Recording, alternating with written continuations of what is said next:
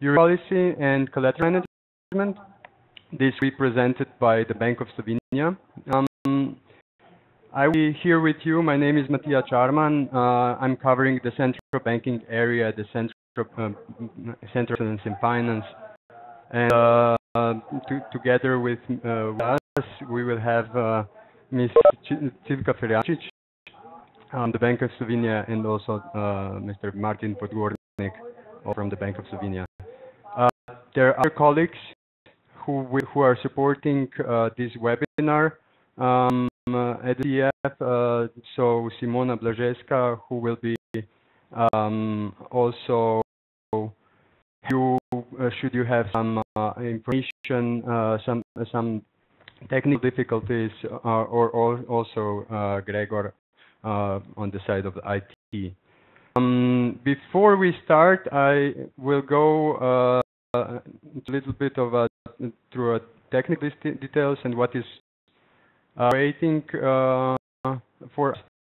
Um, today, how we will go about it. Um, and um, here, although it is a webinar, it is a presentation based. Uh, it is very much um, very encouraged that you also pose your questions um, either at the end of the presentation, which is dedicated for questions and answers, um, and uh, you can uh, unmute yourself and um, ask a question, or you can do so on the screen. You will see uh, on the bottom uh, right corner uh, also a chat box where you can write your questions. Um, of course, bo both is uh, possible. If you have a question and you want to write it down, we will read it for you as well. Um, it's it's preferable if you ask it uh, yourself, but however. Um, um I have to notify everyone that this uh, webinar is recorded. Uh, it is then used. Uh, you will uh, uh, you will get the recording after the webinar when it's done. After with the presentation, so this will be available for you.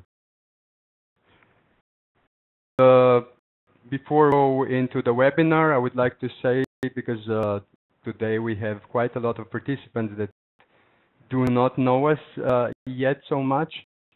Um, so um, uh, I have to present very briefly about the CEF, uh, seeing the, an international organization, support capacity development in Southeast Europe, um, capacity development of the um, public sector. The, um, they have uh, se several areas that we are covering that is the financial management within this, it's by budget preparation and execution, accounting and auditing, on tax policy and administration, um, and the central banking uh, area, uh, which is also uh, the part uh, the, this webinar is part of. Um, current thematic is uh, a leadership for supporting managing reforms um, this will this is uh, embedded into into all of our um, areas as well. Um, we uh, know that on, not only technical knowledge is not enough, so this is why we are also um, this through through our uh, through our initiatives. Um, we have those face-to-face -face initiatives where uh, webinars are the online part um, uh, you actually applied uh, through our CEF online campus. You will be uh, you on the CEF online campus. You can um, um, find also other other things that, that are going on. But however, um, uh, you're welcome to join us at our uh, physical events face to face, either CEF or in the region um, where uh, we have workshops, seminars, and other other events. Um, uh,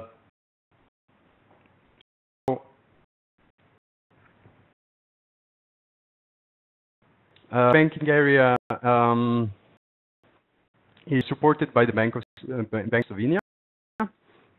It is covering four basic uh, focuses that we have on um, building strong and credible institutions, on um, also uh, supporting the decision-making and policy-making process with with better information that is with with more political uh, topics.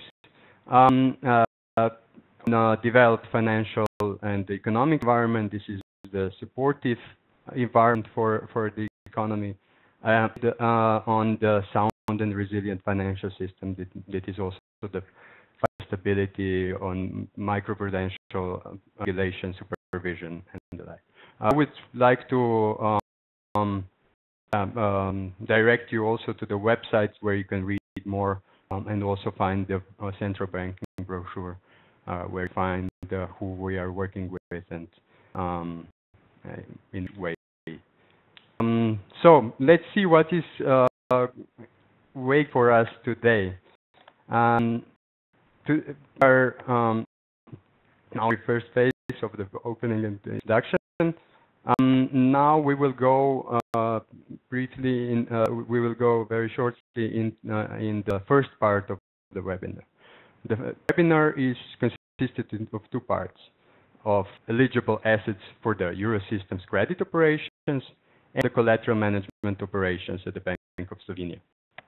Um, that is, um, uh, each of the parts will then be followed by the questions and answers. Uh, as I said, there were 10 minutes dedicated for that. Uh, and uh, we will be waiting and very much eager to hear your questions, but maybe your experience and, and comments as well. Um, there are two experts that are wi with us. This uh, first will be Cilka. Uh, so Cilka uh, uh, um, has uh, extensive experience in collateral management uh, and uh, has been working the, on monetary policy operations for a longer time. Um, so this is where I would like like to leave off. Uh, we are starting with the first phase of the webinar.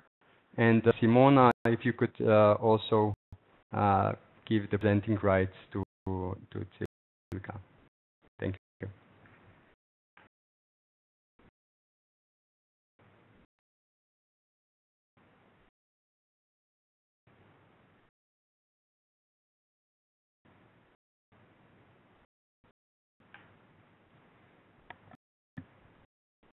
Would you unmute?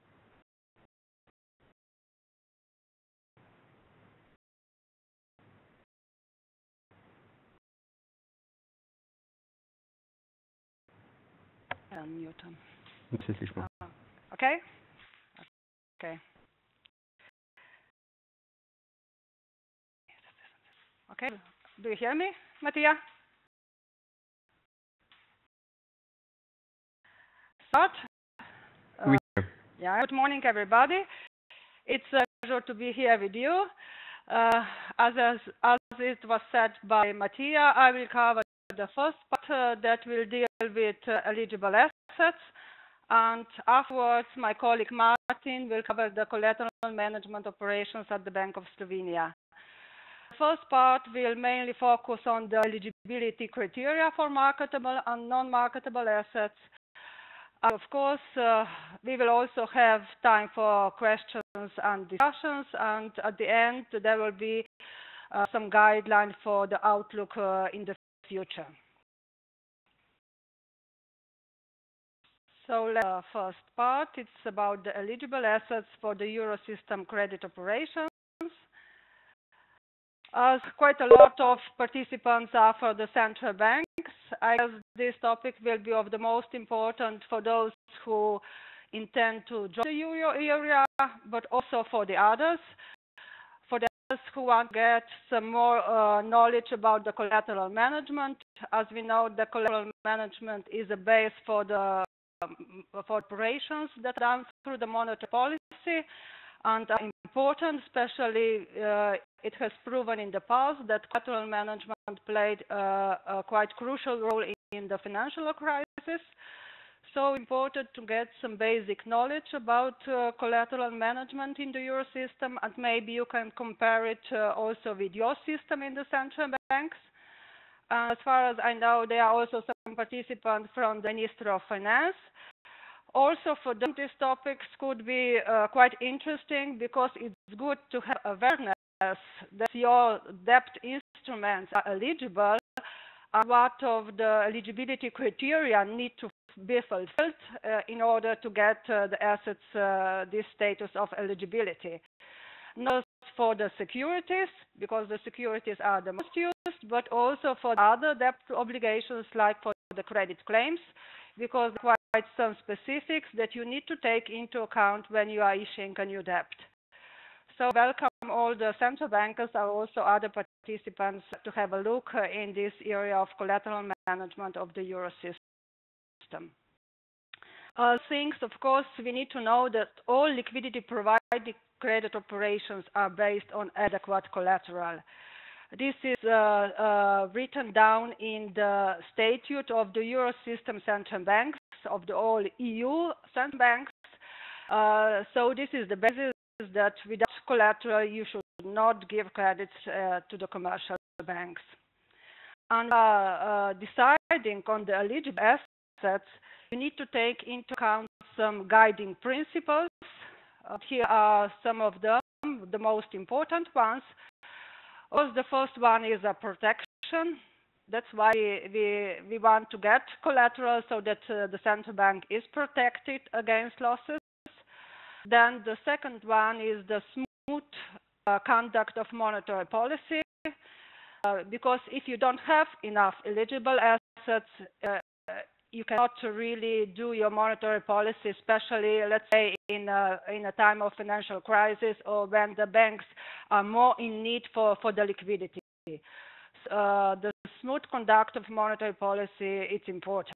Because the collateral management should ensure the equal treatment, equal treatment among parties, among issuers or debtors, and it should provide operational efficiency and transparency. So we want to be uh, transparent. Uh, uh, that's why all the eligibility criteria are known to the general public and they are published in our guidelines. The EC guidelines are the legal base for, for the collateral management of the euro system. And the most important guideline is this guideline, the first one that is mentioned here, guideline on the implementation of the euro system monetary policy. Uh, you know, this is the guideline that covers also eligible counterparties and the operations. And of course, in part four, there are all the details about eligibility and the assets that we are taking into uh, in consideration when we are uh, doing the operations. And uh, there is another guideline that should be mentioned. Uh, this is the guideline that deals with the risk control measures and it defines the valuation haircut and is also publicly known. And both of guidelines are published on the ECB website, and here you have a link. So if you need more details, maybe afterwards or anytime, you can go to the ECB website and you can find even more details in those two guidelines. And in the Euro system, the guidelines need to be implemented in national documentation. So we have also our national documentation that reflected, uh, reflects these two guidelines and also some national specifics. Uh, eligible assets are divided in two parts. Part are the marketable assets, and the second part of eligible assets are the non-marketable assets. With marketable assets, we refer to the debt securities, and the list of uh, eligible marketable debt securities is daily published on the ECB website. Here is the link where you can get all the listings of all debt, uh, instru debt uh, instruments that are eligible for the operations. And as a rule, uh, the reporting NCB is that NCB where the marketable assets is admitted to trading. So uh, it's not the the issue, uh, the location of the issuer. It's the marketable, uh, uh regulated or no regulated markets that uh, defines which uh, has the responsibility to report these eligible assets to the ECB. On a daily basis, the NCBs, national central banks, look at the criteria, and if the new assets of course, they need to report it to the ECB, and at the end of the day, the, the common file is published at the ECB website via ISINs and also some other details of the debt securities. Here in this table, you have the main criteria that are used for the marketable assets. Uh, there are some specifics, uh, of course, in details uh, described in the guidelines, but uh, for today's presentation, I think it's important to have, uh, to have a general view and to go through the main criteria.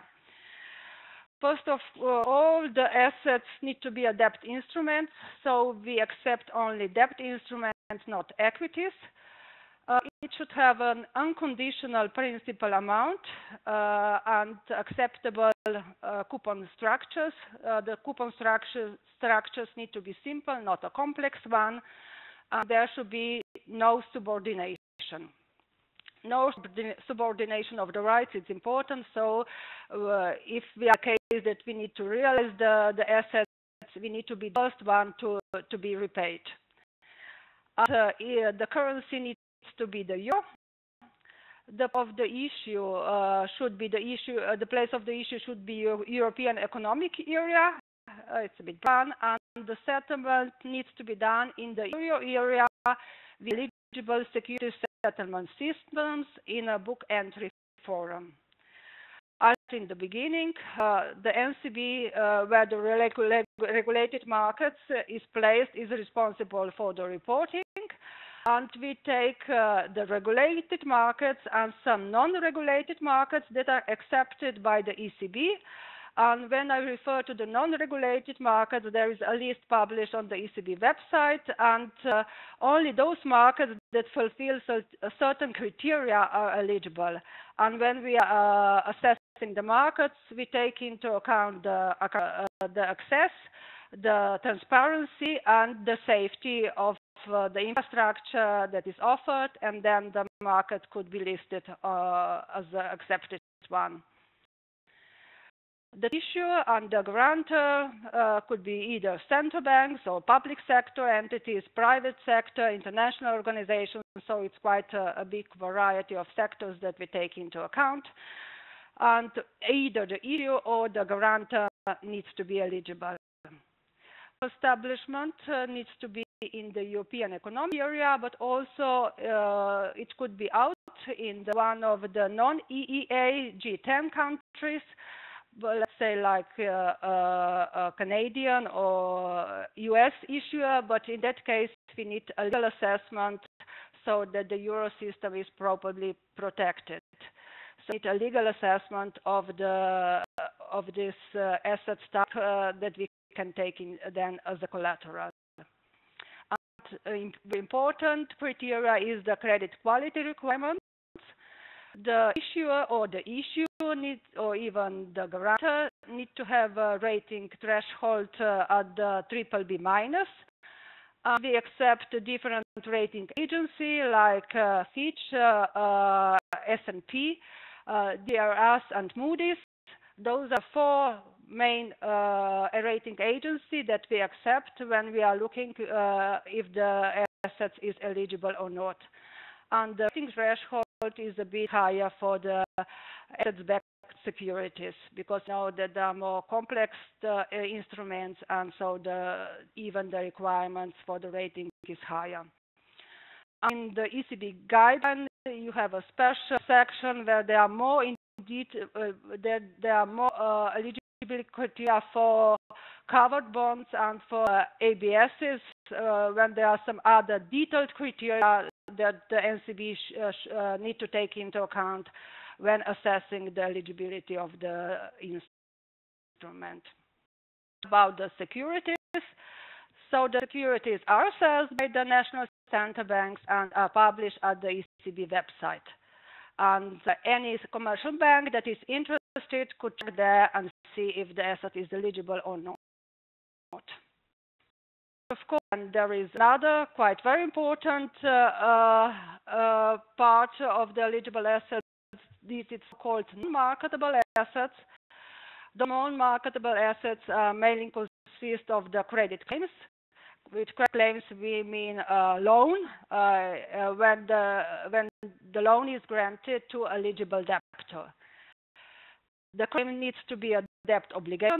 There should be a fixed unconditional principal amount and acceptable simple coupon structure. And of course, also here there should be no subordination of rights. The currency needs to be euro and the type of debtor or guarantor should be mainly non-financial corporation because we accept loans that are given to another financial uh, institutions because otherwise we would be exposed to the financial sector. So this criteria, non-financial uh, sector, is important when we are uh, thinking about the credit claims as eligible assets. And the governing law of the credit claim agreement and the governing law of the mobilization should be the area, area law but some additional laws could be uh, accepted regarding, let's say, the creditor, the uh, the guarantor, or some others. So uh, a maximum three laws could be accepted. And we are taking credit claims as collateral.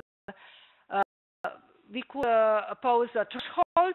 Uh, with threshold, I mean the limit up to which uh, amount of each credit claim we take as collateral and there is a minimum threshold of 500,000 uh, euros uh, per credit claim for the cross-border use. But for national central banks, it's up to them whether they decide to have a threshold or not. In Slovenia, we use the same threshold because we think it's quite costly to use a small credit claims because uh, you need to assess whether the credit claim is eligible or not, and we don't want to have quite a lot of costs with this. So it's quite good to have at least some minimum threshold. The debtor uh, or guarantor of a credit claim should be uh, an euro area. So here is a bit uh, uh, uh more restricted in the securities, uh, but of course it's good to have just euro uh, as we know that the credit claims uh, are not harmonized in the euro area and there are some differences and uh, we don't want to go really into details of the each jurisdiction. So euro area uh, is the is the location that is required. And taking credit claims as a collateral, we need to assess also additional legal requirements.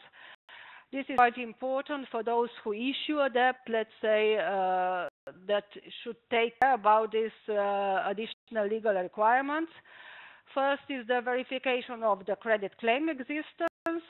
The verification is done in the way that uh, we need to check if the credit claims really exist so in the Euro system, the national central banks do the ex post checks. With the ex post checks, we mean that we go to the bank and uh, it's an on-site visit, and we need to really uh, check if the existence of credit, the existence of credit claims, uh, and we do just a random, a sample uh, uh, uh, of checks. And validity of mobilization needs to be fulfilled with validity of mobilization. I refer to the all uh, legal acts in uh, specific in uh, jurisdiction. So uh, the mobilization needs to have also a full effect via uh, third parties. Uh, course, we know that when we take credit claims as collateral, it's not the same like a security you need to trust the counterparty that the credit claim really exists. You need to trust to the data that uh, the counterparty is sending to you. And you need to trust to the legal uh, system in the jurisdiction that the, all rights uh, are pr protected and you as a collateral taker are first in the role in case of uh, realization That's why also in the credit claim agreements there should be no restriction regarding the mobilization or realization of an assets. And let's say if you are getting you are preparing a, a, a loan agreement, you should take uh, care about it and uh, not to put any restriction for the mobilization and realization. With the mobilization, we, we refer to the um, when the counterparty brings this credit claim to us as collateral and uh, uh, we use pledge uh, system here in Slovenia. So when the credit claim is pledged, uh, it means it's mobilized. And with the realization, we, see, we mean the expression uh, uh, means that in, in case of counterparty's default, we need to realize the assets, we need to sell it and uh, to get the money back. There should be no restrictions regarding the realization in, in the loan agreement. And of course, because we need to share the data uh, with the euro system, there should be no banking secrecy. Uh, and if there is, according to some special uh, jurisdiction, banking secrecy uh, often is there in the different legal acts. In uh, credit agreement, the banking secrecy in case of uh, uh, using this credit claim as collateral should not be there. And of course, the important uh, eligibility criteria is the credit quality requirement.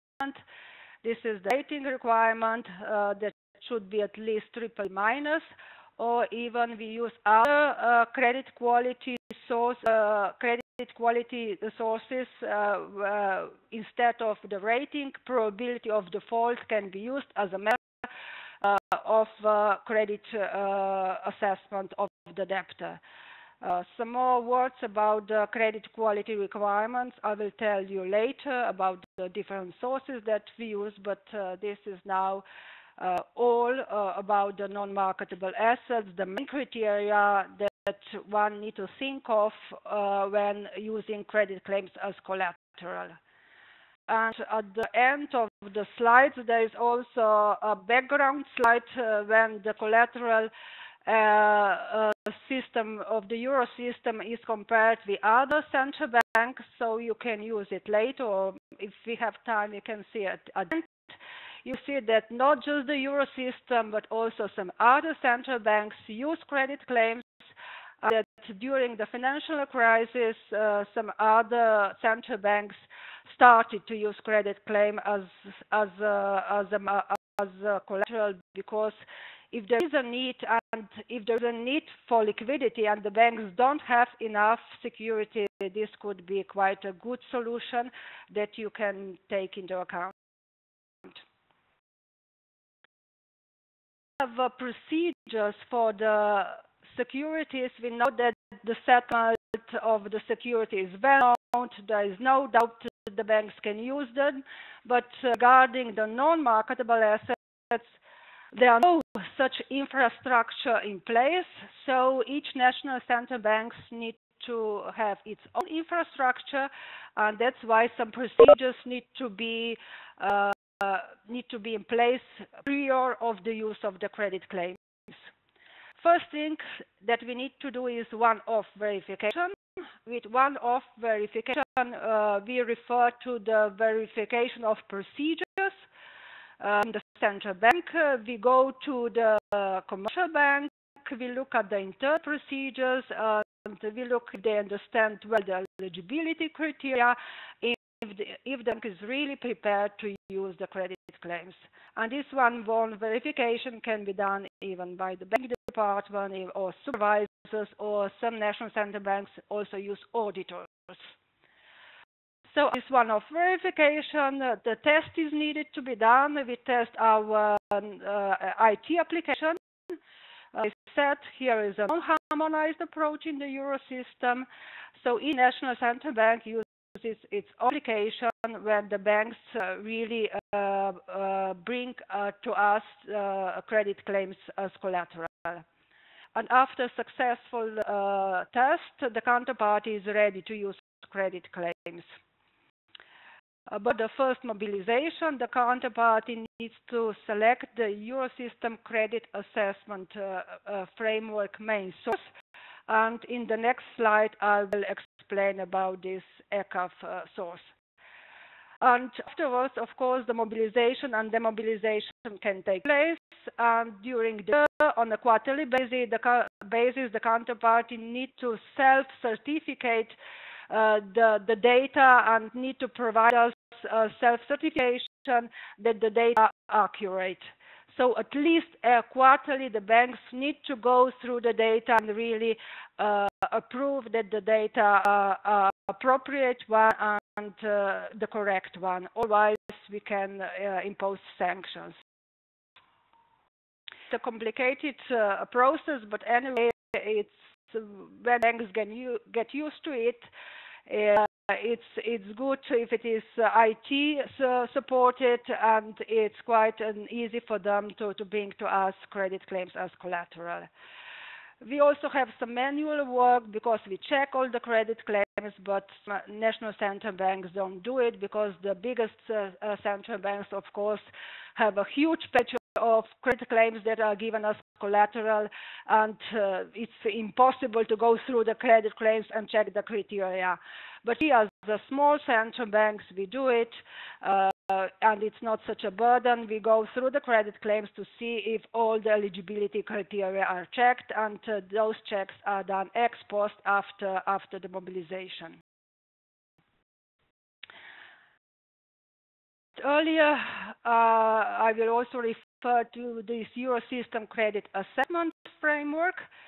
This credit assessment framework is uh, important because the, the debtor need to have appropriate rating or uh, as I said, probability of default instead of rating uh, should be uh, at the appropriate level.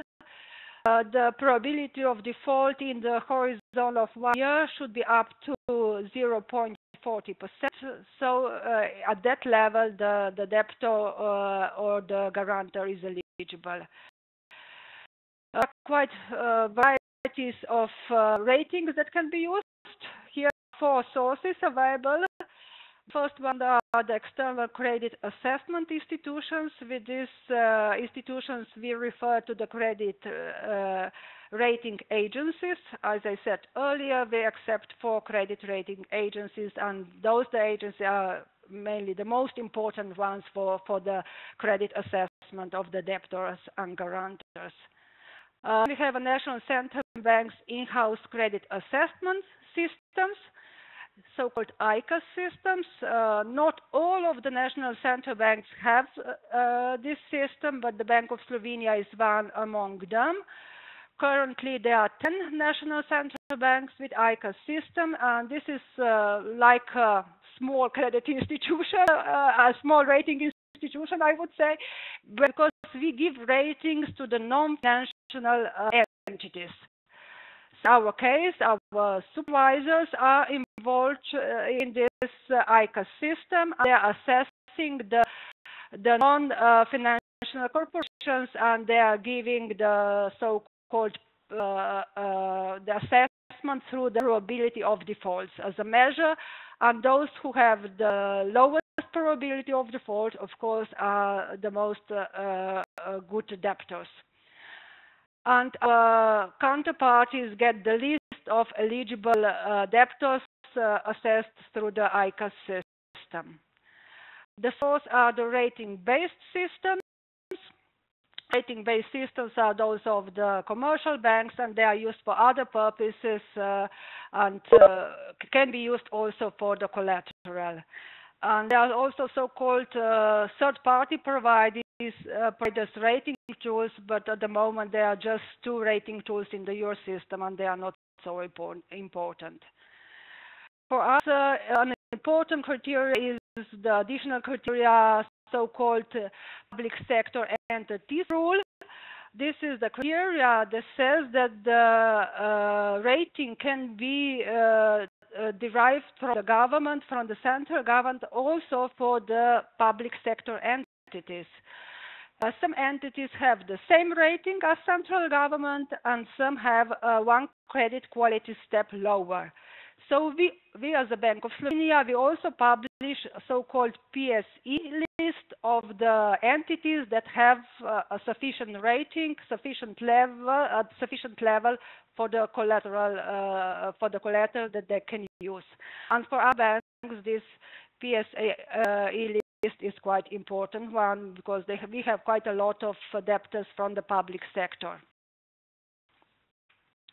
It's a complicated Eurosystem credit assessment framework, but anyway, it has been proven that in the past, when the banks were in need of uh, the liquidity and were in need of more collateral, this credit assessment framework worked well, and still it is in, the, in place. Maybe the rating tools are not import, so important, and we should uh, be aware that, of course, still till now, the rating agencies are the most important source used. And uh, if you look at the securities, the securities need to have a rating uh, of the rating agencies, but for the credit claims, other sources can be used. So this uh, assessment framework is uh, more in favor of uh, non-marketable for the more non-marketable assets.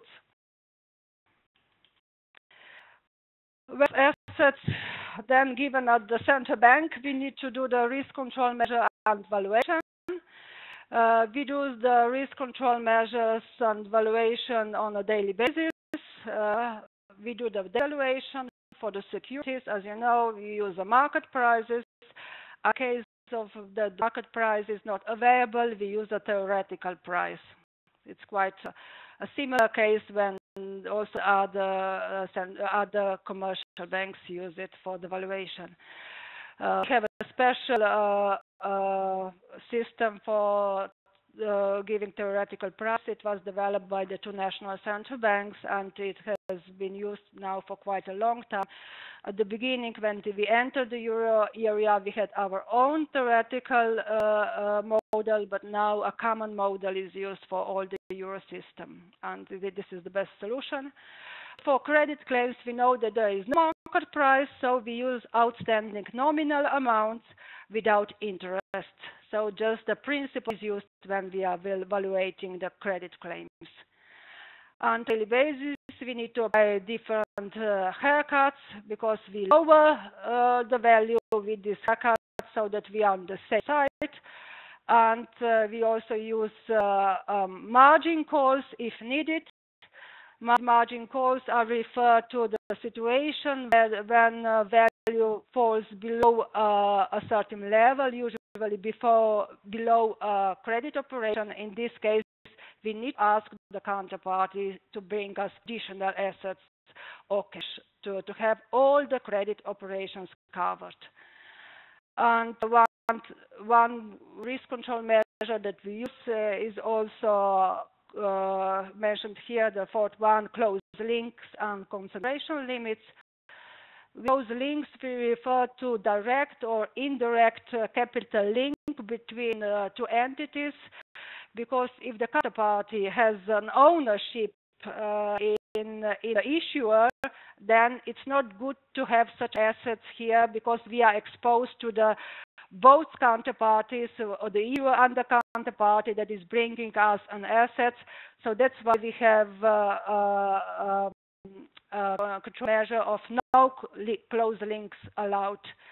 And we also put some limits for unsecured bank debt instruments because we don't want to be exposed uh, uh, too much to the banking sector. So when the counterparty is using unsecured debt instruments, there are some limits. Uh, to certain limits, they can use it.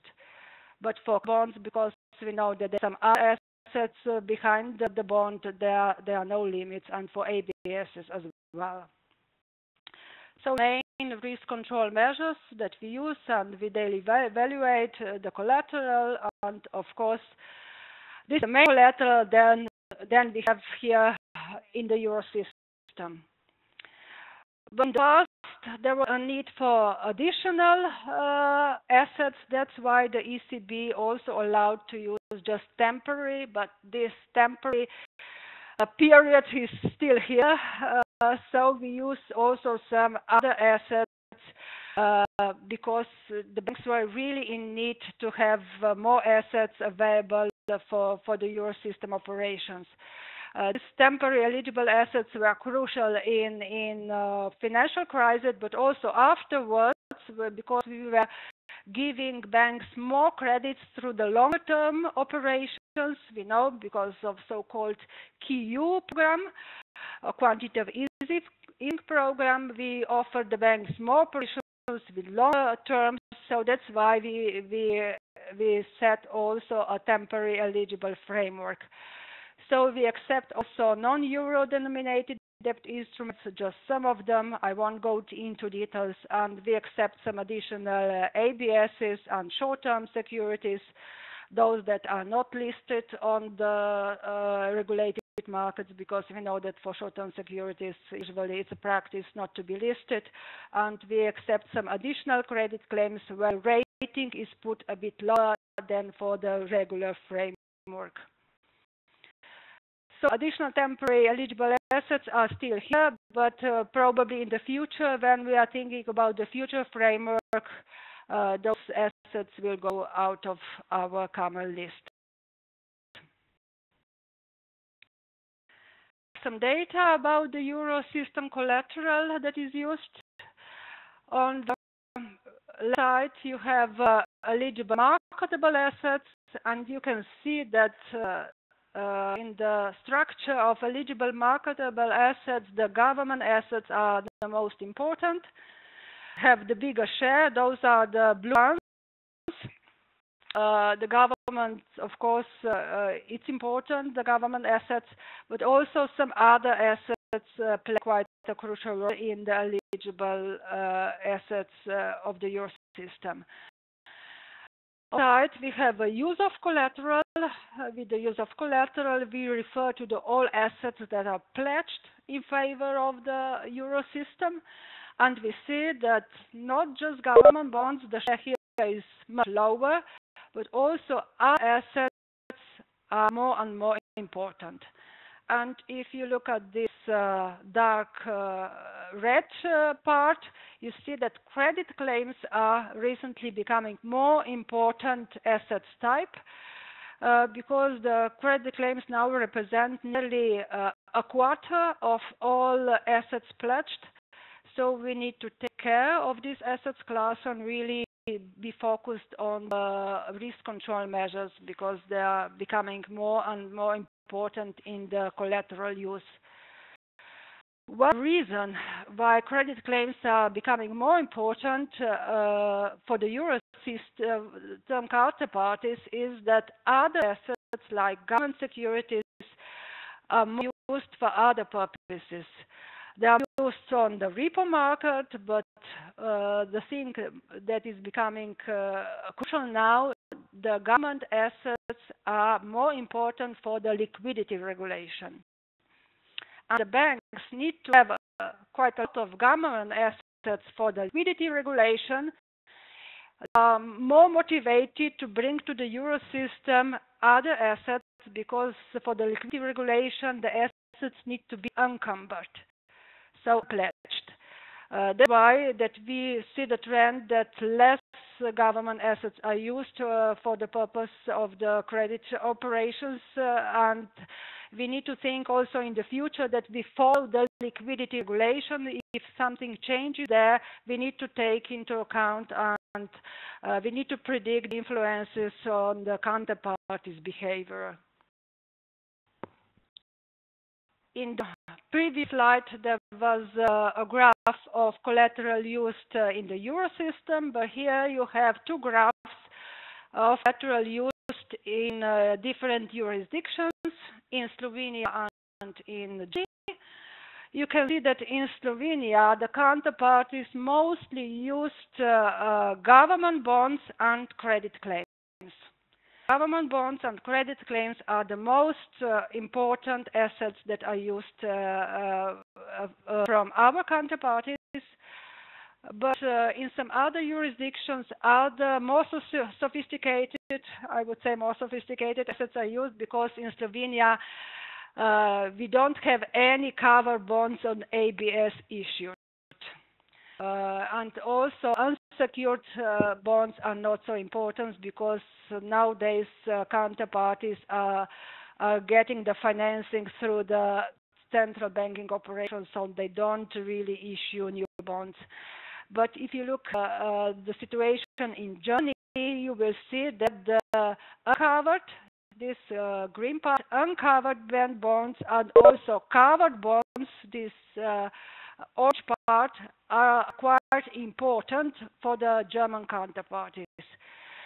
So comparing different jurisdictions, you will see different patterns of collateral use, and uh, this is, uh, uh, of course, a practice that we that we need to take into consideration when we are looking what will be the influences if we change some criteria, because for some jurisdiction could be very important, for the others not so. Uh, also, we are thinking about the future collateral system. Uh, we need to refer to all uh, jurisdictions and different patterns of collateral used among different uh, uh, euro area members. Just uh, a few words about the future collateral system. Uh, we know that nowadays we are operating the monetary policy in excess liquidity. So maybe the collateral is not so important at the moment, but uh, for the future situations, we need to assess what kind of the post-crisis framework do we want to have. Uh, recently, uh, we are working internally on some uh, on some options of the post-crisis framework of operations of monetary policy and, of course, of collateral as well, because it depends what kind of operations we will have in the future, and it depends in which environment we are going to, to have our monetary policy in a surplus or deficit. Uh, then this one will also uh, uh, influence the decision on the lateral management. Sure, we should think about less complex system because there are quite a lot of arguments that the Eurosystem collateral management is too complex and sometimes even for the counterparties too difficult to understand all the detailed uh, criteria. Uh, it should be more transparent we want to uh, to be transparent uh, uh, towards the counterparties and the general public, to the issuers and debtors. All the criteria need to be clear. And there are some challenges if operations based on different collateral would be needed. This is just an example. We don't know, but it could happen in the future. So we need to take into account uh, also this option in case it would be needed. But of course, everything depends on the post-crisis framework of the monetary policy operations and then together also the collateral management. And one important uh, step in the future is also IT infrastructure. The system is uh, working currently on the Eurosystem common infrastructure, so-called ECMS project, and uh, my colleague will tell you a bit more about it. It's uh, about IT infrastructure that will be used uh, among uh, Euro area members because it's better to have a common infrastructure than a separate ones and because there is more risk and more, it's more costly to, to have a separate according to the different jurisdictions. And that's all from my side. I hope it too complicated or too complex. And uh, I would encourage you to, to comment or to give your views. Uh, uh, maybe you have some good experience with your own collateral management system for those central banks that have a different one. Uh, for those probably who don't have any experience with the credit claims, I would like to hear your opinion uh, if you have any doubts uh, of such uh, eligible assets. So, do comment or ask questions.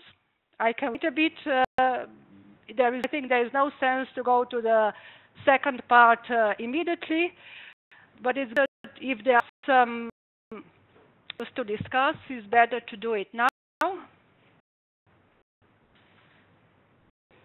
thank you, Cilka, for your presentation. Uh, indeed, um, I say it's not all from you yet, as you said. yeah. Um, so let's devote maybe a minute uh, to wait now for uh, for any questions that uh, the participants might have.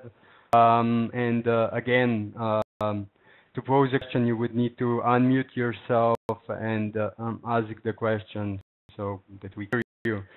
Um, you have also a, possibility to write it in the chat box.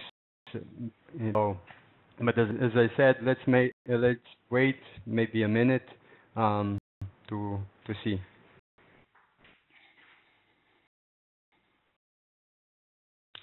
Uh, for us, when we entered the euro area, credit claims were quite a new asset class that we have to deal with. Uh, but through all those years, we get more common uh, with, with the criteria and with the operational practice, so we find it quite useful. Uh, any comments, of course, from your side, because I guess that you mostly use uh, securities or maybe central bank bills.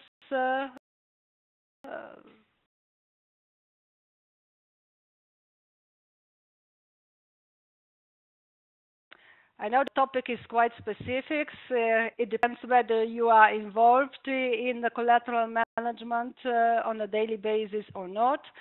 But maybe even for those who are not involved, uh, um, just uh, if you have uh, any doubts or general view of the of the system, is it too complex? Uh, is it too is it too risky?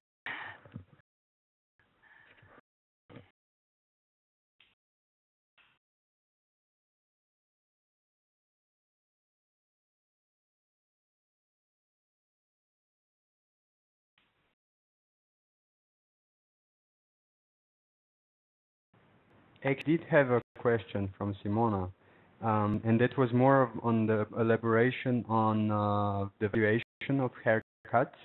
Uh, you actually explained that now it's um, unified across the euro system.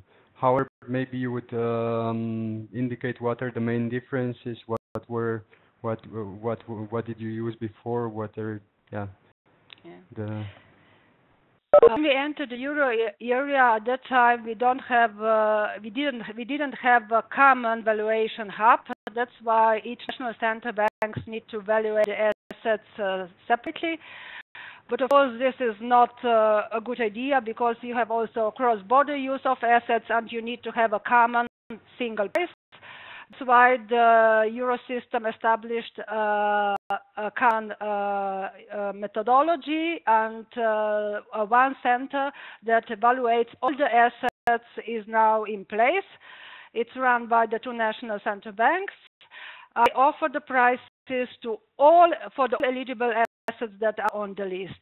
So we use the same prices in the Eurosystem. Each national central bank uses the prices for the same ISIN and uh, those haircuts are used to to put us on the safe side because we deduct this haircut, which is expressed in percentages, in percentages, we deduct it from the value so that the value is a bit less than market price so that some other costs are covered, uh, let's say in case of a need for realization but to calculate these uh, haircuts is quite uh, uh, a complex thing. So it's from our risk uh, management um, committee are dealing with it, and they prepare tables of the haircuts that are dependent on the type of the assets, on the maturity, and also on the type of the interest rate. It's a quite complicated methodology that is used but of course, it is a thing that uh, it gives us more assurance that will be covered in case of the realization. In the meanwhile, we also received uh, another question. Uh, thank you, Gerana Jordan, uh, for your uh, for your question. She's thank you uh, for the excellent presentation. I agree. Um, and is asking whether the currency support regime corresponds to the new collateral management framework uh, in, yeah, uh, in relation to determination of the currency report and um, introduction of few currency rate. Uh, of course, uh, we have uh, uh here uh, a different situation in the in the euro system. But uh, if I compare how we did it in the past, I was in Central Bank before entering the euro area. I could say that the capital management could be in any situation in quite a similar way because also before entering the euro area uh, had a system uh, at that time we have a surplus of liquidity, of liquidity at least of Slovenia, in Slovenia. We had a lot of capital inflows coming into the country, but uh, we had a regime uh, uh where our monetary policy was dealing with credit operations as well. And any time when you have credit operations, when you give liquidity to the banks, you need to have appropriate collateral management in place. I would say that this collateral management could be in in any in any regime because you need to be uh, protected as a central bank. You should not take risk, and uh, when you are giving credits, of course, you need to have appropriate uh, eligible assets uh, there to be covered. Respectively of the regime, I would say that the common features of the collateral management uh, could be in any, in any time.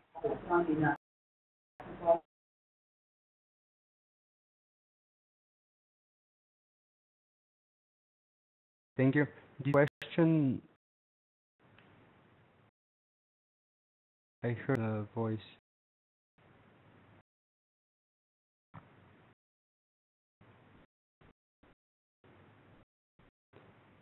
Um, if, if then I would suggest we continue with the next uh, with the next one um, and uh, with the next part with Martin. We will uh, also tackle the questions you might have even on the first part after the second. So uh, please do share your questions um, and uh, we'll uh, we'll discuss it discuss it later on. Um, and we are already now joined uh, uh, by um, by uh, Martin. Martin is actually um, of the back office of the banking operations at the Bank of Slovenia, and um, is also working more on the um, technical side, uh, also on the on the platform for um, collateral management. Uh, so you will have a, a, great opportunity to ask him um, more questions. Um, Martin, floor is yours.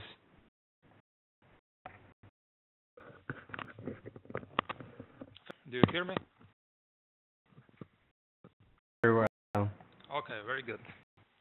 Hi, from uh, my side, I'm Martin Podgornik, like uh, Matija introduced me and we'll walk you through the collateral operations at Banka Slovenia.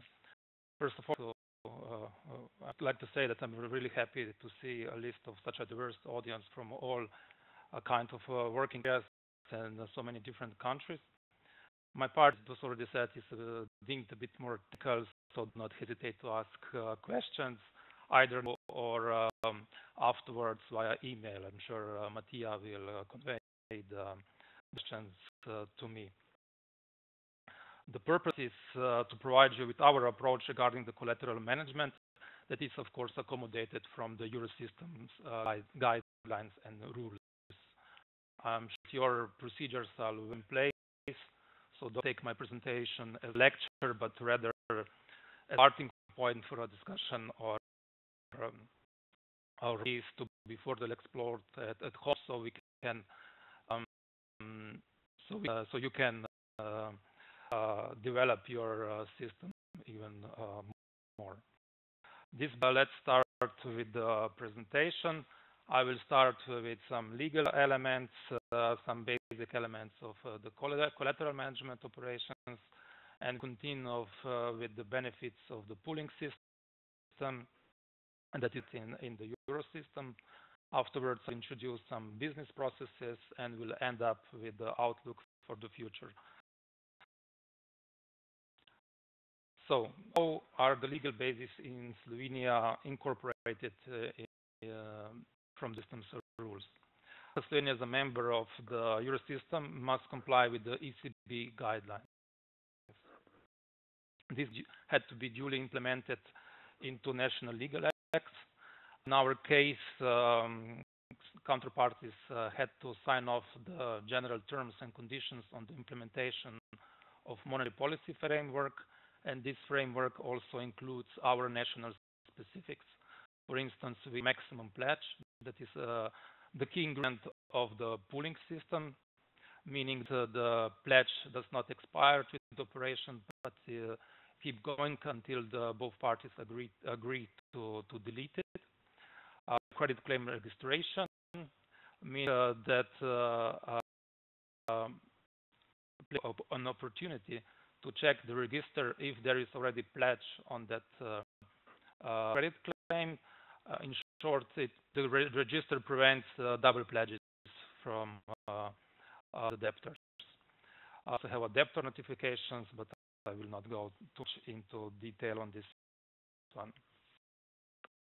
Okay, now it's on the key elements of the collateral operations. Firstly, the collateral mobilization channels. Um, uh, what under the mobilization first? These are all procedures and actions that need to be correctly executed in order central bank is absolutely sure that asset is properly pledged.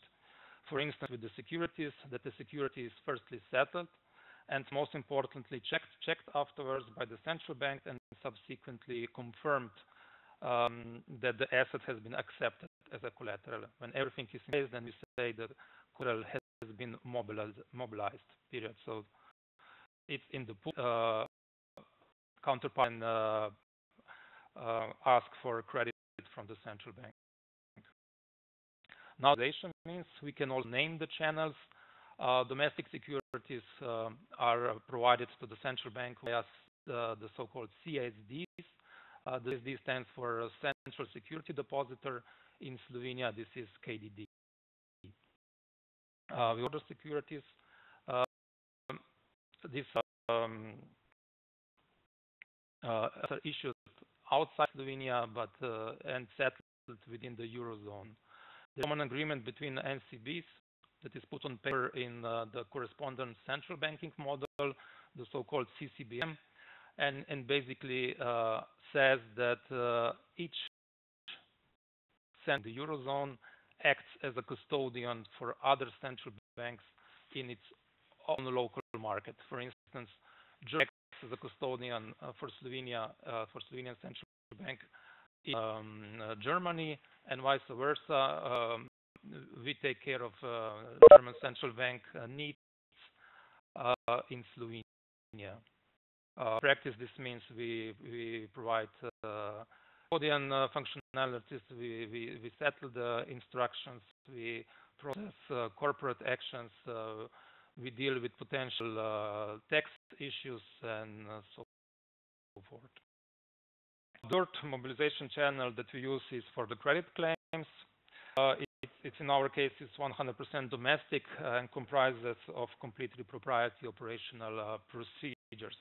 I dedicated a slide on the credit claims later on, but also Cilka explained the credit claims well in depth. Okay, let's talk compliance. Or now have a cash as collateral and fixed term deposits. Cash as collateral is used only in extreme circumstances. Uh, when margin call is raised, uh, of course, why would somebody deliver cash? for cash?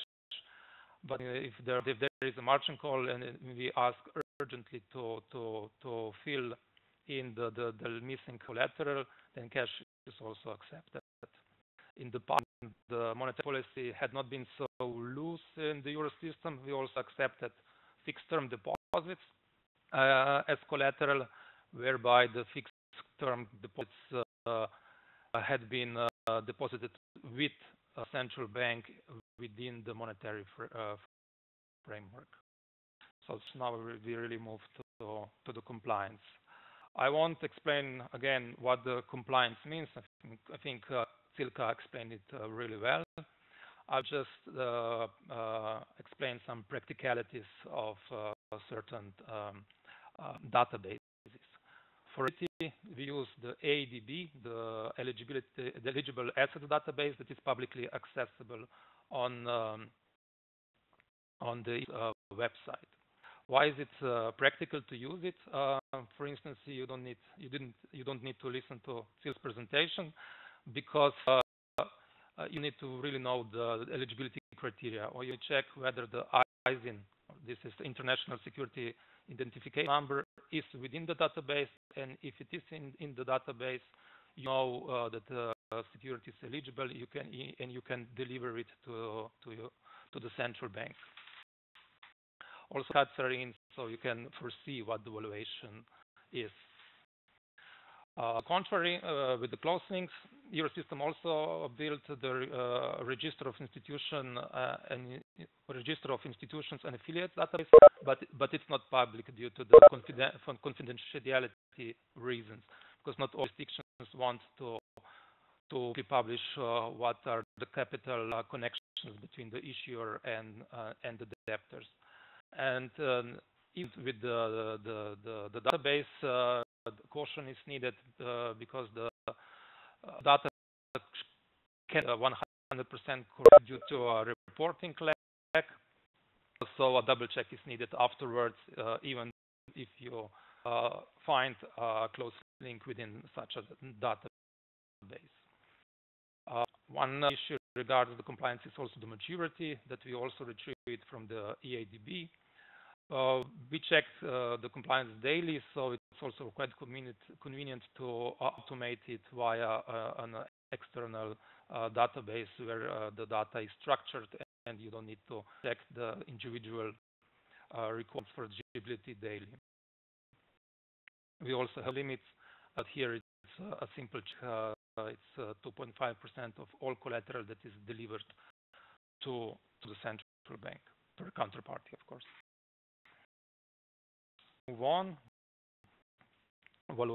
Uh, this was also explained uh, by Cilka, so let's just repeat uh, certain uh, key elements. We do it on a daily basis, once per day for whole collateral, and ad hoc during the day if there are if there are mobilization or mobilizations or demobilizations, or if there are some significant changes in the assets attributes, for instance, rating, rating decrease or other static data changes. Here, um, valuations are uh, persist, huge interest, pool factor for ABS is factor for some specific securities, foreign exchange um, rate if the asset is uh, denominated in a foreign currencies, let's say for treasury uh, measures, haircuts are assigned uh, uh, with a metrics um, per asset type maturity and uh, asset quality, aka rating. And one more thing that I think it's interesting, I know that some non-euro um, NCBs evaluate assets at zero before the maturity day. In the euro system, we are of the opinion that is the fairest of the counterparties that we weight uh, the assets uh, or collateral at the very maturity day, date, then entails that uh, you have to have 100 uh, data and that the redemptions are paid uh, directly to you, so you don't end up without money and with the credit exposure towards counterparty let's move to the corporate actions. By corporate actions, uh, the redemptions and uh, interest rates for, for um, this at uh, uh oh, sorry uh, redemptions and coupons of the interest uh, for securities and interest in for claims. interest are usually paid or always paid by the debtor to the to the bank, and for redemptions and coupons are paid by the issuer Uh, so now we apply the so-called Christmas tree model, so they are paid uh, to, to, to the CSD. CSD pays the uh, uh, um, the proceeds, the, the redemptions and coupons to the members and members to the final beneficiary. So, for the collateral, we differentiate the, the treatment of uh, the corporate actions for securities and credit claims. Uh, for securities, we always get the, the redemptions and the coupons, and we forward them to, to counterparties uh, margin call. If everything's fine, we, we, we, forward them immediately within the same business day to, to the counter, to counterparty. Um, for uh, credit claims, it's a bit different. Take on board the, the interest um, for the uh, collateral value so don't we, we don't need to uh, interfere uh, in the, the payments of interest from debtor to to to the bank or to the counterparty. Okay, so my corporate actions. Uh, last slides about the key elements, and then I think the the uh, the presentation will be, if at least more colorful. Um, with additional fees for collateral management, uh, for instance, we don't uh, add uh, anything on safekeeping fees that are charged to us by the CSDs and for these. We only pass on uh, the variable costs that are charged to us by um, CSD and uh, foreign NCBs, like transaction costs, safekeeping fees, and other minor um, items. We also do reporting. We have to be fully transparent, uh, firstly to management, but also to other uh, NCBs, the other central banks that we share financial risk risks uh, together. So we need to know or to be aware what central banks uh, are doing, and so uh, that we can ask questions if necessary. We report the positions to uh, to the ECB, and ECB then disseminates uh, such uh, these uh, informations to all banks. So we we get the information from all the euro systems to us. Unfortunately, here is what do we report to counterpart parties? We report aggregate values and also individual positions with collateral position valuation. Uh, know what uh, what percentage amount of collateral will mature. Uh, if the maturity date is near, report uh, the collateral twice a day. Um, firstly, in the morning when we do the revaluation, this is before business uh, start of business day, so that counterparties know with what collateral they can work with during the, the day and we also report the collateral at the end of day to read quantities and uh, face amounts and outstanding uh, positions for claims uh, so that uh, parties can reconcile their uh, their positions or their books with our our data, which practice or practically obligatory uh, issue for a, a, a back office process. Uh, I would like to mention a few words on uh, earmarking uh, versus pooling. There is no bet between them, but pooling is deemed as an operation upgrade from earmarking, at least in the Euro systems. While the earmarking system had been in the Euro system, but it had some um, sides. I said a few of them. Uh, I'm sure that some uh, problems can be solved also within the earmarking, but then the pooling has been established uh, in the Euro system as a system to run by the all by all central banks. So one one loan demands exact set of collateral. This is practically a definition of the earmarking. Each operation is earmarked to uh, a certain uh, collateral to a certain uh, ISIN or security or, or set of securities. Collateral cannot be rolled over for the next operations. Uh, there was a legal requirement requirement that uh, let's, say for a repo, the uh, there is expiry date on uh, the, the, the collateral provided all can uh, is issued per operation, so there can be many uh, margin calls. Our collateralization at one collateral set cannot be transferred to another, meaning that if you have an over collateralization at one operation and under collateralization at another, this uh, surplus uh, cannot be used to cover the minus on the uh, on the other operation. Due to many margin calls, initial margin is common, and by initial margin, I mean if the credit provided to the counterparties uh, is in the amount of 1 million euro, and if uh, NCBs demands 10% initial margin, that means that uh, counterparty needs to provide 1.1 million euros uh, worth collateral, and the BER is then uh, used to the margin call issue. So if the, the valuation fluctuates over days or over the weeks, it rarely falls under the, the credit value. So what's our solution? The solutions. Um, one step is also, again, the definition of uh, pooling is wallet for all monetary credit opera operations, meaning for intraday, overnight, uh, we call it overnight in the, in the Eurosystem mar marginal lending, uh, financing operations, uh, longer term operations, and, and, and so forth.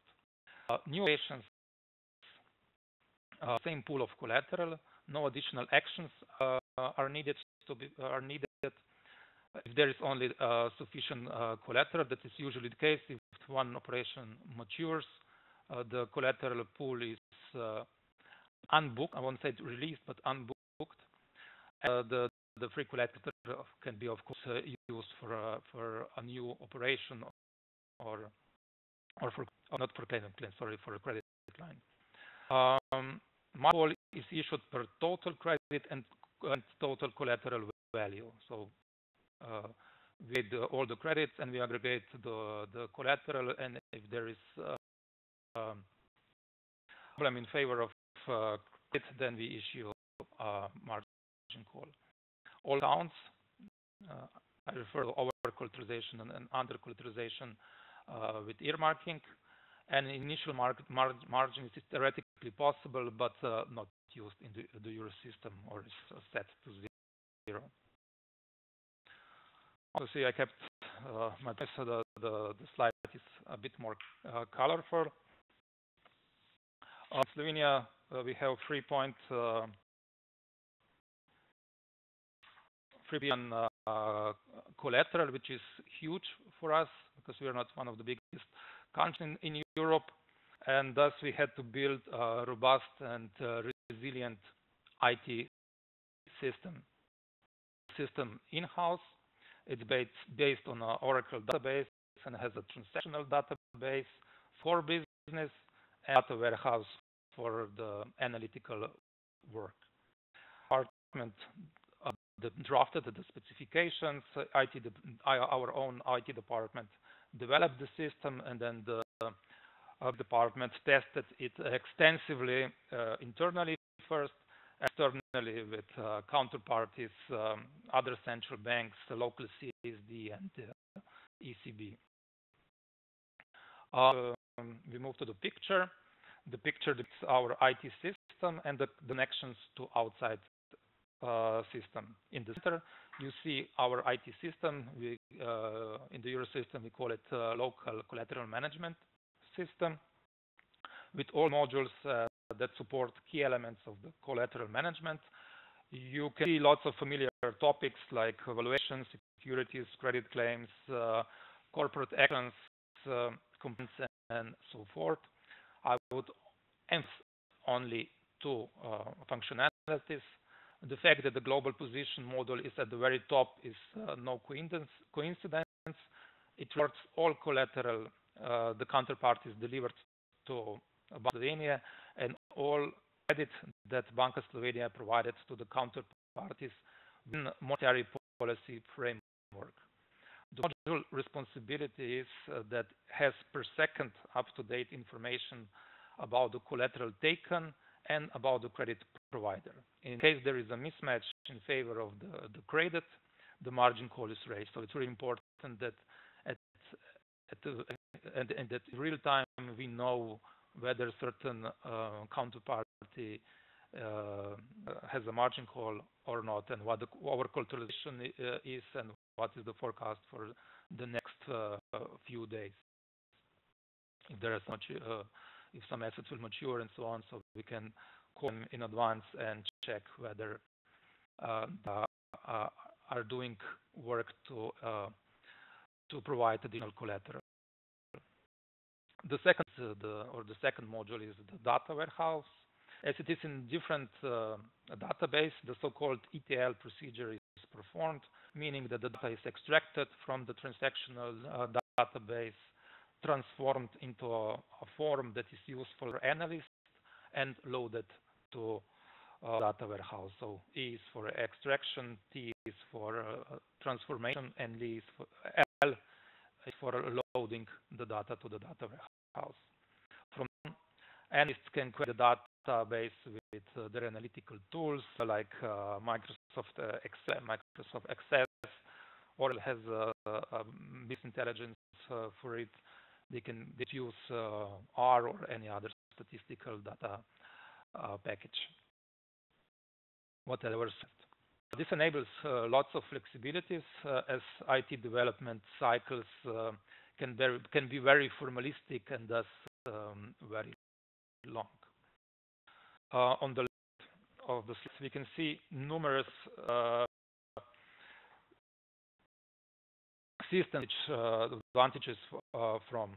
In the past years, the Eurosystem has built many common systems mentioned uh, a module for uh, valuation or for providing uh, theoretical prices. This is called CPH, provided by Banque de France and Bundesbank. I have a box there on, on the left. Um, for instance, um, Target 2 is our RTGS systems. Uh, T2S is a settlement engine that connects the CSDs uh, of the Eurozone. Um, UCDB is uh, the database where we report um, collateral that is later on disseminated to all central banks. We already uh, talked about the EADB. Uh, is also mentioned then there, and of course at the very top, uh, uh NCBs, where we communicate uh, our Uh, collateral needs, uh, where we process the collateral mobilization, uh, mobilization on a cross-border level. We communicate Eurosystem via two networks, if there is pure internal communications, communication, we communicate via the proprietary Eurosystem CoreNet framework. And the uh, counterparties are involved, we communicate to the central banks and to counterparties via SWIFT. On the right side, we can uh, uh a box that represents uh, Slovenia's applications for liquidity pro provide, providing and absorbing oper operations. The operations are tightly connected with the local CMS uh, because uh, before the liquidity is settled, the applications uh, need to check if free collateral is available, and if it is, they have to immediately book it. So patients uh, get uh, uh, the correct information. Last is on the bottom right, and it's of course the most important because if there were counterparties, all our work, work would be in vain. We come the counterparties, as I mentioned before, via SWIFT. We heavily rely on uh, on SWIFT. We also have uh, we also have a proprietary PKI-based business-to-business interface uh, to counterparties uh, where we, uh, we, where we primarily exchange files. For instance, when we report collateral positions and we receive credit claims contracts in PDF format.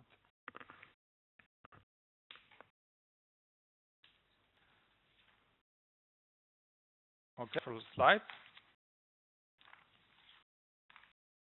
Uh, we form domestic securities mobilizations in accordance with the ISO 15022 standard. ISO 20, ISO 15022 standard defines so-called SWIFT messages, uh, such as uh, MT message uh, 5, 540 for delivery of securities, uh, M, um, message type 542 for reception of security, and message types uh, uh, 544 and my, um, 546 to confirm the settlements. All messages relate to free of payment workflow that is most common in the collateral uh, world and is also defined by the, uh, the ISO 15022 standard. Uh, to deliver securities either free of payment, uh, delivery versus payment is that both is sent instructions to the CSD and then the CSD matches the relevant fields such as uh, ISIN, phase amount, settlement date, uh, delivery receiving agents, and so on. If all those are equal in both instructions, meaning it has been understood uh, by, by both parties in the same way, then the instructions are, are, are matched. Uh, uh, executed on the settlement date if the instructions are matched and if the collateral giver has enough securities on its account. For this, we have for each uh, counterparty a specific pledge account in our local CSD within our CSD memberships. I mentioned before this is important for the for the function of the corporate actions. Okay, five. Um, so I'm a bit behind the schedule. I will try to be brief from now on. Um, so go to the steps uh, and uh, so we really understand what we do at each uh, step that I mentioned on the picture. Step one, counterparty sends the mobilization instructions to Banka Slovenia and so initiates the mobilization procedures. Step two, Banka validates the instructions instruction, uh, for instance, whether the instruction is eligible, if the, the, the format in the instruction is correct, and so on. Uh, step three, uh, Banka Slovenia provides the transaction status. Uh, one, whether, whether the transaction is okay and has been forwarded to the CSD or central bank, or that transaction uh, has been rejected due to, for instance, in ineligibility of the security or any other issues. Step four, both instructions to, to the CSD counter, counterparty sends uh, a free of payment delivery free instruction and Banka Slovenia sends free of payment receive free uh, instruction. Step five, as all the actions on the same business day, this essentially matches the instructions and settle, settles uh, them. Uh, this means that it, the, the, the securities are moved from one account to another. Step seven, Banka Slovenia upon the settlement uh, notification evaluates the security and records, records it to the pool of the counterparty. Uh, and final step, Banka Slovenia confirms with the MT544 message that the mobilization process has been successful. So the description of, of the process also can follow up later on. I will skip the cross-border uh, part because it's only extended, uh, extend, extended from the domestic part. Uh, we have a pre-harmonized uh, approach uh, towards the counterparty uh, for the domestic mobilization and for the cross-border, but there are certain additional um, things that a counterparty has to do because they usually have to forward the instructions to global custodians and uh, cannot uh, instruct with the, their local CSD. Word to the credit claims, as we have a little time. I will not go into uh, detail. We have a two-step approach, credit claim registration and credit claim mobilization. With credit claim registration, the key uh, claim data is recorded, for instance, issue date, draw date, amortization plan, insurance, and so forth. And with credit claim mobilization, is this is a step where the, there there uh, there is actual pledge uh, recorded on the credit claim. Words the the technical communication. We use uh, Swift messages, the MT598s, which are uh, free text messages. Uh, Banka Slovenia developed uh, a special format within this free text that the party needs to comply just to to to to uh, few message types. 100 is for registration, 300 is for mobilization, 400 is for demobilization, 200 is for deletion uh, from the registry. We Also have some other subtypes that uh, provide uh, a feedback, like 101 that registration was successful, 109 that registration was um, rejected, and uh, the same format for our other instructions. Wrap up. Um, outlook for the future, like already mentioned, um, uh, has approved uh, three major projects uh, at the market infrastructure uh, level. One of them being uh, ECMS, uh, Eurosystem Collateral Management System, that is a, platform, a technical platform that will be used by all central banks and by all counterparties uh, within the Eurozone, uh, and they will uh, mobilize collateral in a harmonized way. Why is harmonization so important? We have 19 IT systems for Euro collateral, one at each uh, NCBs. Most collateral is local. Local counterparties, of course, mobilize the local collateral. So there are lots of lots of uh, um, local specifics that need to be uh, harmonized. So as sense, first, central banks have to agree how we will perform, uh, let's say, credit claims mobilization that is completely fragmented uh, in the euro systems, but all at the market level, uh, we will need to agree in, in the eurozone how, for instance, corporate actions, how taxes are treated, uh, and so forth. So forth. Uh, I mentioned before the ISO 15022. Uh, the Eurozone is moving uh, to ISO 20022. Uh, Single European payment area is already on on ISO uh, 20022. The settlement engine for securities, the so-called T2S, has been built on ISO 20022, and so will be the ECMS. So The major change for uh, for counterparties and for the market to move it from uh, the proprietary, not from, from, but from existing standards to a new one. Um, it seems that we will have a lots of time to do it, but there is lots of work to be done on the harmonization uh, harmonization area.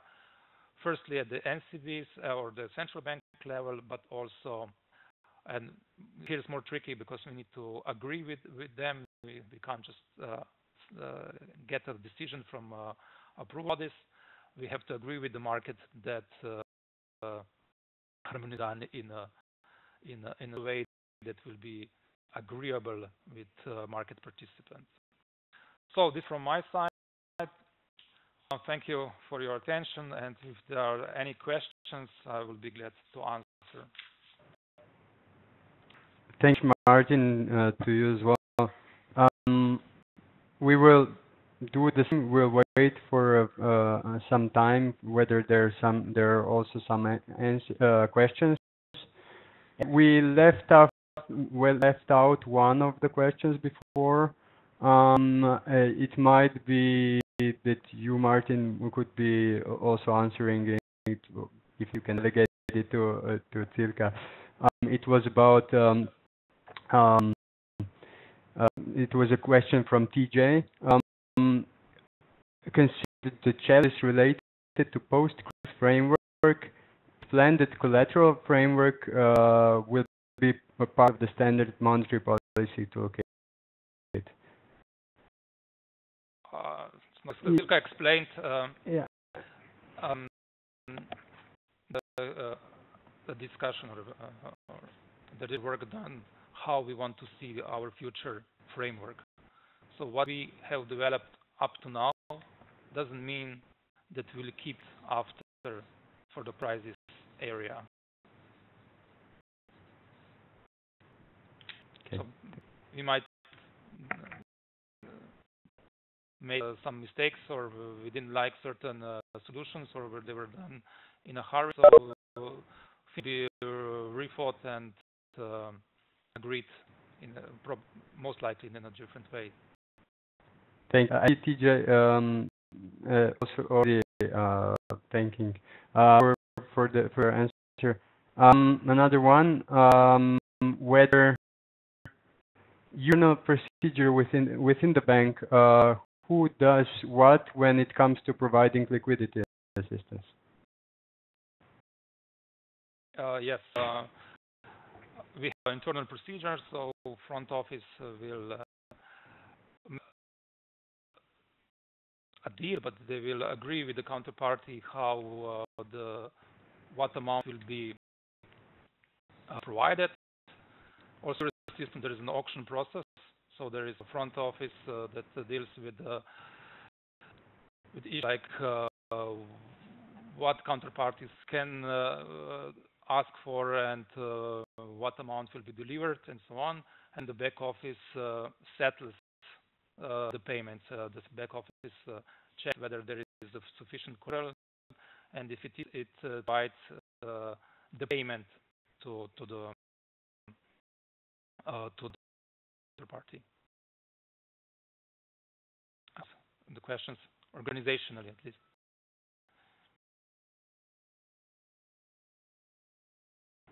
Thank you. I think we have uh, maybe a minute or two to, for another question, should there be any. So let's wait.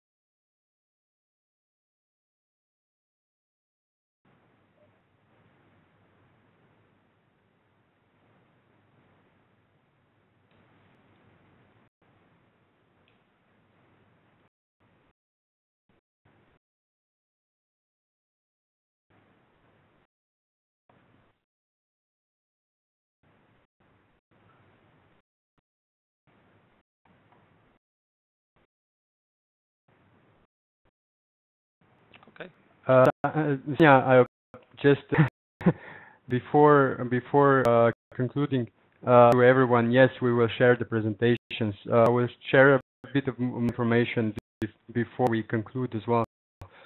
Um, uh, uh, so thank you very much, Martin. Thank you, Cilka, as well. Um, it was a very very um, um, extensive information, and we'll have a lot of uh, materials uh, also to see afterwards. Um, now, Gregor, could you give me the presenting rights um, so I can I can really share a few uh, things. So, um, everyone, just just very briefly, it will take a minute um, um, of your time. Um, we would very much like to ask you to evaluate after this uh, webinar how you felt. You will get you will get a, an email from us um, uh, with a survey. So please fill it out. Um, also, uh, do you have any other topics that you would like us to cover? Um, this is very welcome uh, for us to to put in, in our agenda. Um, together, as I, as I, already said, you will have the presentation and we'll share the um, um, recording of this uh, uh, webinar today um, online. Um, I would like to uh, welcome you at uh, already um, some events uh, that we are still de delivering at, in uh, this year.